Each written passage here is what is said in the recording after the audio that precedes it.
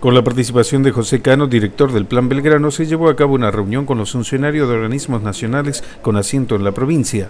Entre algunos de los temas tratados se analizó el decreto del Poder Ejecutivo local declarando la emergencia en materia de seguridad. Mire, a, uno le preocupa absolutamente que el gobierno hace 30 o 35 días no quiso adherir a la ley, que hoy plantea el debate de adhesión a la ley de, emergencia y seguridad habla un poco de la improvisación.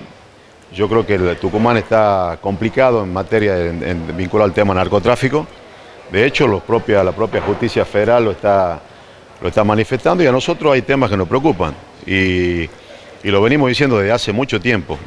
La primera definición que hay que tomar para luchar contra, contra el narcotráfico, contra el flagelo del Paco, es cortar el vínculo que existe entre los que trafican droga y la política.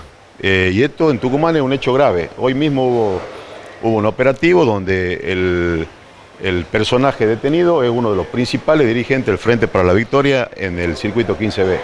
Y esto es grave, con designaciones en el Poder Legislativo y con vinculaciones políticas que obviamente uno, digamos, sospecha porque conoce, conoce la zona y conoce la región, los propios vecinos de hace muchísimo tiempo vienen planteando la impunidad con la que este personaje se, se maneja. Entonces, que hoy se lo detenga y que forme parte del personal de la legislatura y que trabaje para el Frente para la Victoria, me parece que más allá de la declaración de, emergencia en seguridad, lo que, hay que, lo que hay que hacer es que se termine la impunidad y que la justicia actúe.